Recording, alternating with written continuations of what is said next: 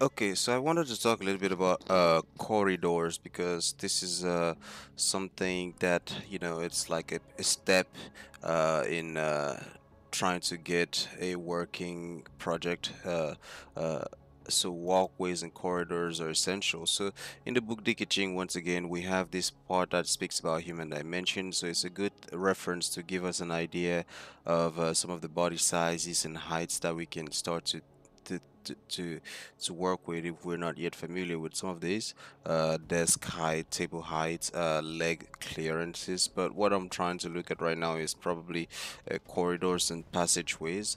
So we see that uh, human standing sideways is 3 feet 10 and 1.1 foot 7 and so for larger spaces we see that you can even go to 2 and 2.25 meters wide or 7 feet 6 inches so this allows us to sort of plan and you know this is probably why some of the corridors standard width is 4 feet wide right? Or 1.2 meters wide.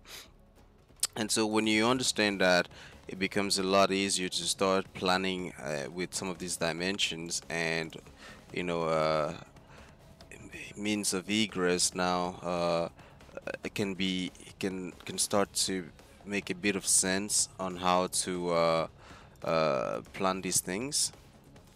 Okay so the other thing too is that in blender you have the grease pencil so I'm going to try to demonstrate that a little bit. So I have uh, here some uh, people that I modeled here.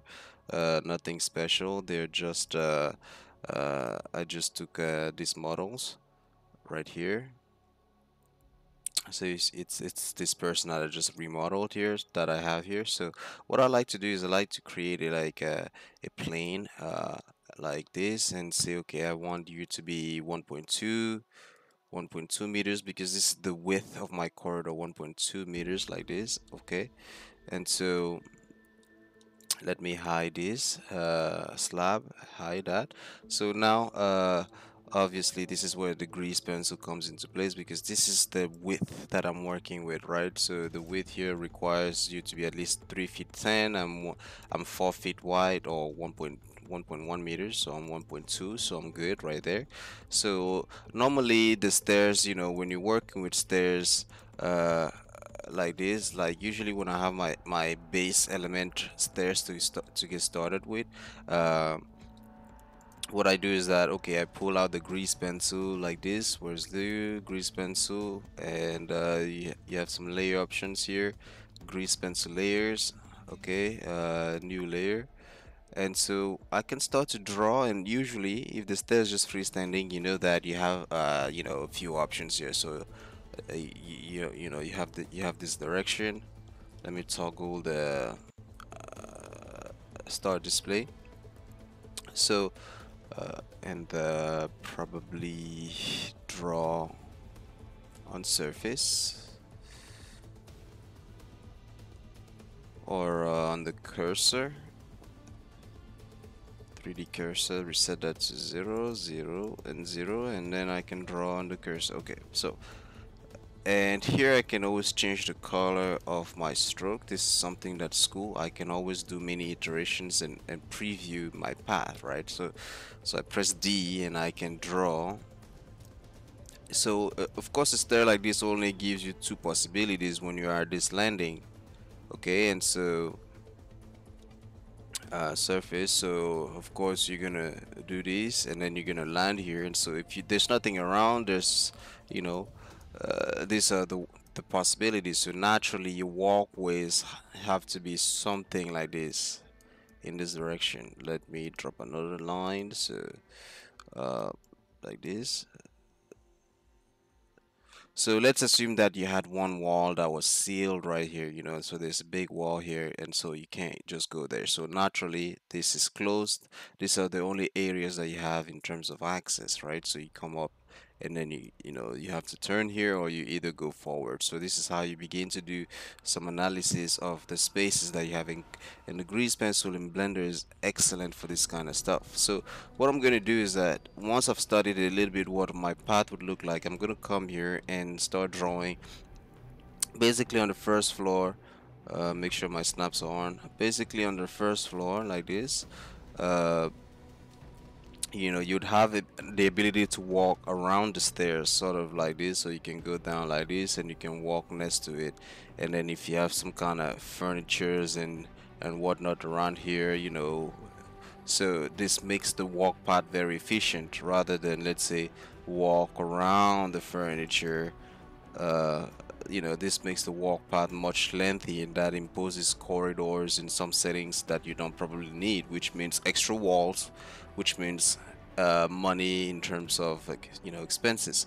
Um, so the grease pencil allows me to do a lot of this quick layout analysis that I can quickly draw in real time and I can control them turn off uh, turn them on at any time. So what I'm gonna do is I'm gonna select this plane here that represents my walk path and you know just snap it here and then come here and then extrude this like this and then select that and then extrude that right here. And so so this represents my walk path at least what I've mapped for the base for the base uh, for the base floor right? And so uh, in this in this example now let's say okay uh, um, you know let me hide these stairs. Let's say in this example the stairs is connected to this wall right here very flush. That means that on this side probably I want a similar structure that has to connect to this side of of the floors. So let me turn off my layers for a moment here. So let's assume that I had a wall there for a moment. So I'm going to select this edge uh, select these two edges and shift duplicate that and I'm going to separate the selection P and then select that edge select it all and then I'm going to create a wall simply by extruding that all the way up here like that. So now I have something that uh, this uh, metal uh, L bracket skin snap onto in one form or the other. So now I can give this wall some type of thickness uh, so I can tell it to be also solidified 20 centimeters if that's my thickness okay. Everything is looking good apply scale okay. Okay so now that that's done I have to reset my my my pathway because you know the remaining space that is left is not four feet anymore. So all I have to do now is that I'm going to select all of this and move it here and then I'm going to extrude because I want to uh, remember you know the path that is accessible that is not sort of blocked by any wall. This is why I have to always keep on updating that. And if I bring back my slab alt H tab out of this and alt H uh, let me hide this. So if I bring back my slab uh, uh, where are we? So let me drop uh, so that means that now if I you know I have a support structure uh, for this slab that this wall can be if this is a closed wall for as an example. And what I can now do is that I can duplicate this and move the copy of this wall over here like this. Uh, probably bring this down by one meter tall like this. And this can start to serve as my railing uh, of some sort. And now I can select this path and simply copy that and move it up by three meters. Like this and sometimes I like to give it a gentle solidify modifier just so it pokes out a little bit out of the ground like maybe two uh, two centimeters and then I flip the direction. Or I just come here and offset it this way. Okay so we can see that nice and clear. And so uh, solidify and do that so we can see that nice and clear. So let me turn off the MatCap it's pretty sad that we cannot uh, have different colors all the time the way we wish with the MatCap but anyways um, clearly here I want to edit this whole uh, you know so I'm going to select this entire loop uh, like this and like this and I'm gonna snap it here instead right there. Okay so everything looks good now. So turn off the MatCap uh, turn that off.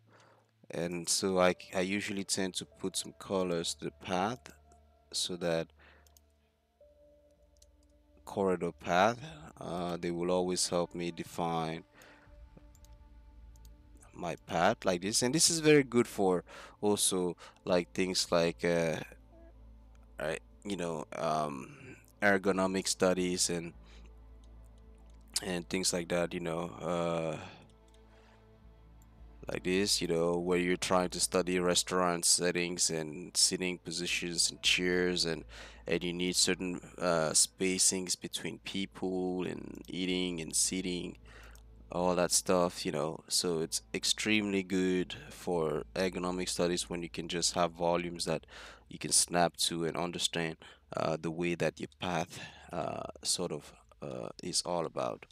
Um, so what else can I say about this? Uh, instead of making this tutorial long. Um, okay, I think that's about it for now. Uh, so I just wanted to make sure that I speak about corridors because at this point now that I have this corridor, for example, I could say, okay, you know, I want this there to sort of uh, this door to sort of be, you know, dead center with this corridor right here, and I want to move this door opening like this.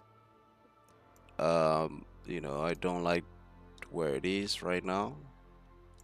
Uh it's not in a good position so I can move that like that. So now I don't have my my door literally landing into this entrance of the stair and I have this sort of gentle pocket here you know. And at this point I can say well you know I probably want a window here you know. Uh a window right here so I'm gonna drop two edge loops just two and you know probably do something like this where this you know maybe I want this edge loop to be about the height of my of my of my door. Um, so maybe uh, I'm going to maybe I'm going to dissolve these edge loops dissolve edge of vertices nope edge. And so now I have this entire window that I can simply the you know just X faces like this. And since I've already created a, a uh, you know window before uh, where are we here are some examples of the windows that we've made earlier. So I just copy this like this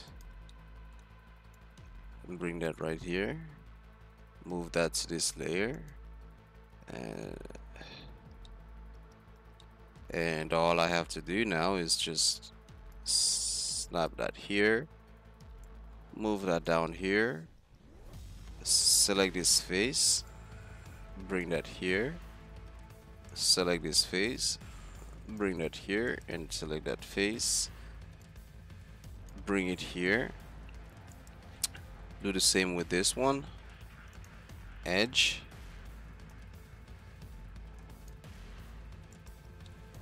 Corridor um, edge like this. Internal edge and I didn't even apply the scale so that might change. Apply scale. Okay so that's good. So my window feels a little bit thick from the inside sort of like this. You know it's poking out too much so I want to move it out a little bit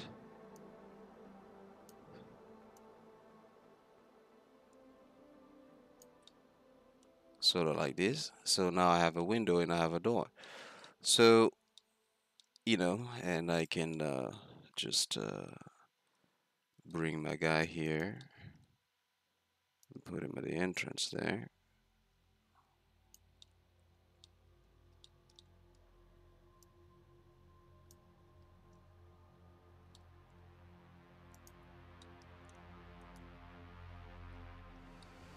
for pre-visualization so that's kind of um, you know the way that uh, you can see how modeling can quickly become intuitive when you sort of have a few uh, sort of information figured out, uh, the rest can be extremely intuitive.